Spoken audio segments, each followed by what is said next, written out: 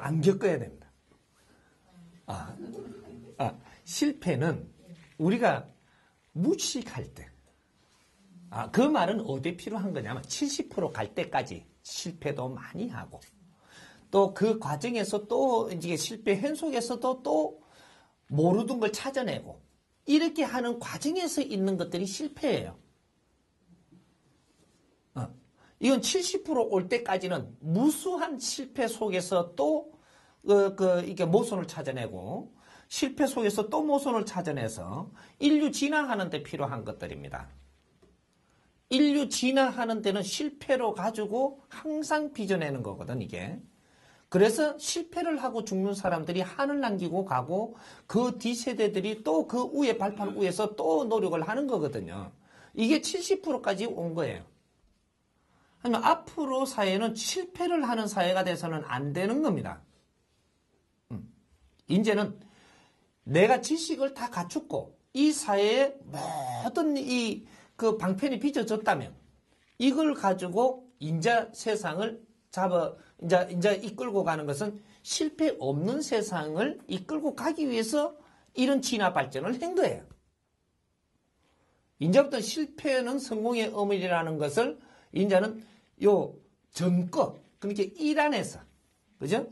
사회는 정확하게 일안이 있고 이안이 있는 겁니다.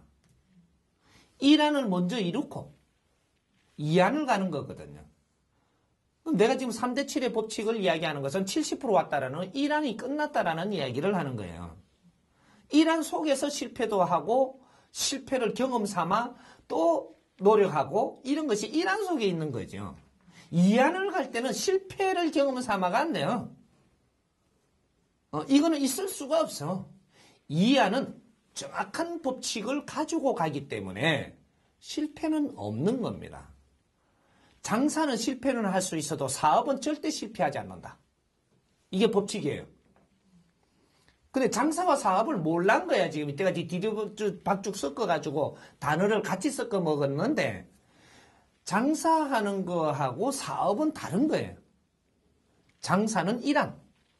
일한을 우리가 일어날 때까지는 장사를 하는 것이고, 아, 이하는 사업을 하는 거예요.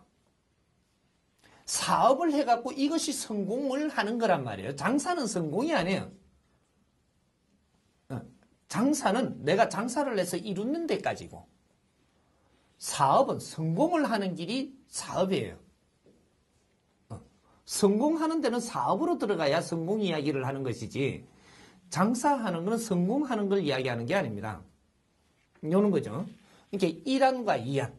이 사이는 모든 것이 1안을 하고 나서 그 다음 2안이 완성된다. 이렇게 할 때 100이 되는 거거든요. 1안은 70%. 2안에 들어갈 때는 어, 2차적인 거죠, 이게. 2안이 들어갈 때는 요 30%를 마무리하는 거. 요것이 성공을 하는 거예요.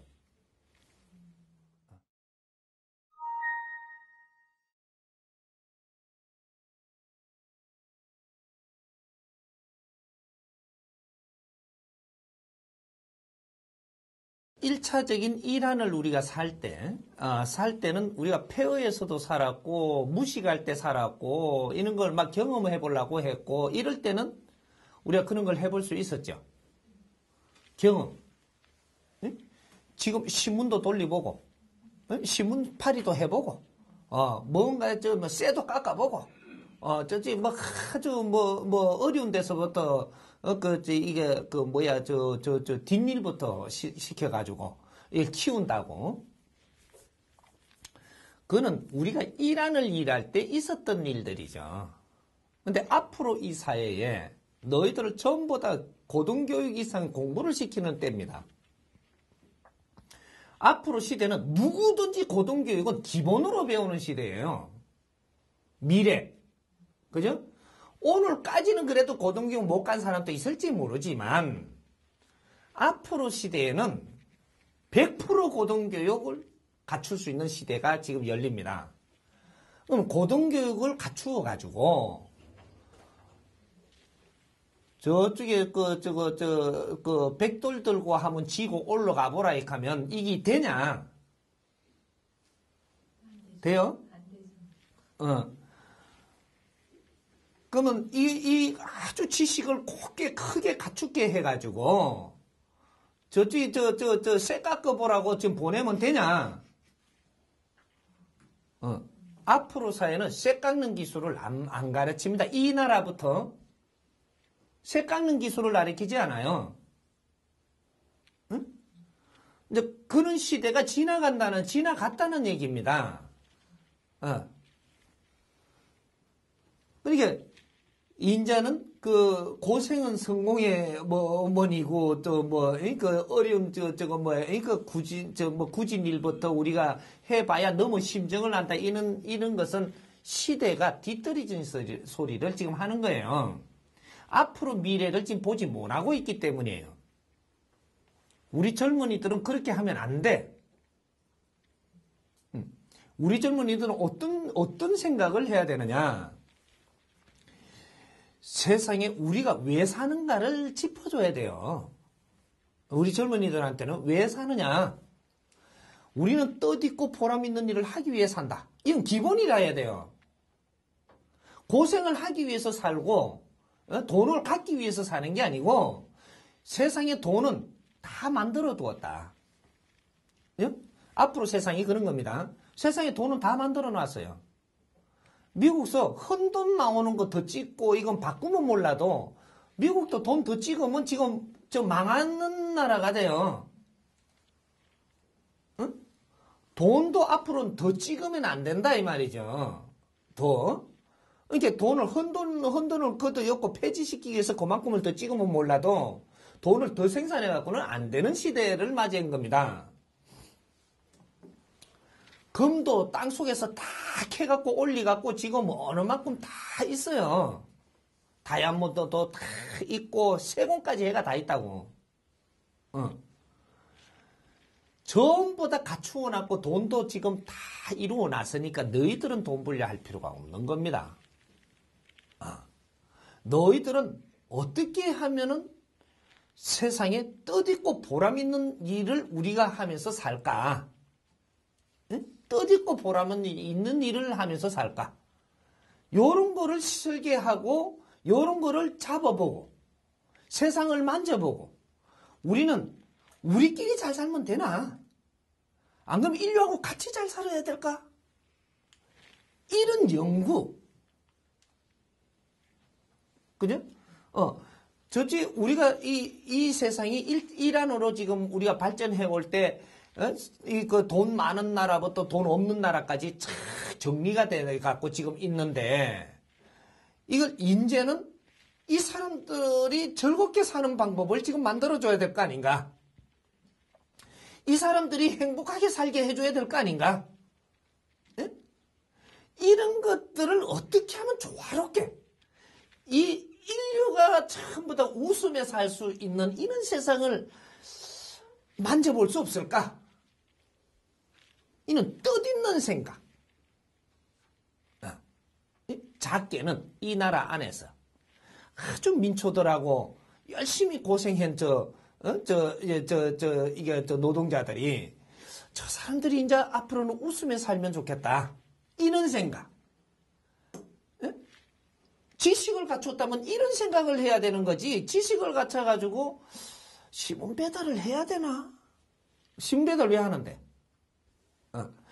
옛날에 우리가 신문 배달할 때는요, 세상을 만져나갈 때예요. 인자 만질 때.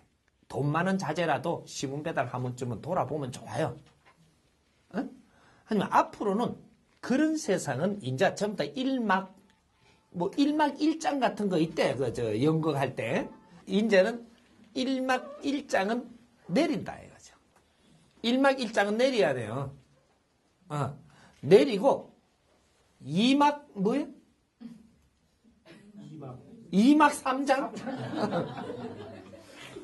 아, 여기 올라갈 무대가 올라갈 때라고 요걸 보고 2013년도부터 이제 정법 시대 인본 시대라고 이야기하는 겁니다. 인본 시대는 뭐냐면 사람 사는 세상. 인자는 동물처럼 사는 게 아니고 인간으로서의 우리가 발부종 칠 때가 아니고 사람은 세상을 사람 사는 세상을 열어가는 시대. 요걸 인본 시대라고 하는 거예요. 이 세상이 사람이 사는 세상이 돼야 된다, 이 말이죠. 어? 어. 그러니까 이제 사람 사는 세상을 열어가기 위해서 우리는 여- 노력을 해야 된다. 이게 지식인들이 출연했을 때 이게 가능한 겁니다. 무식한 사람들이 무슨 뭐 사람 세상을 너희들 어떻게 이해를 한다고 열어가겠노? 그러니까 오늘날의 이 지식 사회가 됐다라는 것은 인자는 사람 사는 세상을 열 수 있는 바탕이 이루어졌다 이 말이거든요. 어? 사람이 살려면 어떻게 살아야 돼요? 비굴하게 살면 안 되는 게 사람 세상입니다. 이제 하나하나 이런 거 잡아보면 우리가 비굴하게 산다든지 예? 아주 그 비참하게 산다든지 어? 무슨 야 이제 뭐 약육강식에 우리는 그뭐 끌려갈 수밖에 없다 이런 세상이 아니고 아주 사람은 즐겁게 살고 어? 기쁘게 살고 행복하게 사는 세상 이런 세상을 열어갈 때가 됐다라는 거죠. 어. 그렇게 하려고 우리는 모르고 이 그런 방법은 몰랐지만 부모님들이 자식을 교육시키려고 혼신을 다했고 응? 또 우리 동생들이 또 내 오빠 내 언니 공부시키려고 혼신을 다했고 이 나라가 온 이 나라가 전부 다 매달려 가지고 노력을 해온 것이 초점이 딱 있단 말이죠. 지식인을 만들기 위해서 우리는 혼신을 다해서 한 팀이 돼가 있었던 겁니다. 오늘날의 지식인을 만들라고. 응? 부모님들이 왜 고생했어요? 왜 힘들게 그렇게 내 혼신을 다했어요? 부모님은 고생 정도가 아니에요. 투척. 그죠? 어, 이게, 이- 이게 뭐라고 이야기해야 돼? 헌- 헌신을 한 거죠. 헌신. 그죠? 모든 내 영, 내 몸을 바치고 내 삶도 그거 다 바친 겁니다. 이 고생 정도가 아니에요. 어. 자식을 바르게 키우려고, 자식 공부시키려고, 자식을 지식을, 그 이제 요걸 이제 정리를 해갖고 이야기하면 자식이 지식을 갖춘 사람이 되게끔 만들라고. 음. 사람 만들라고. 이 소리거든요. 지식을 갖추어야 사람이 돼요. 무식하면 사람이 아닌 거라.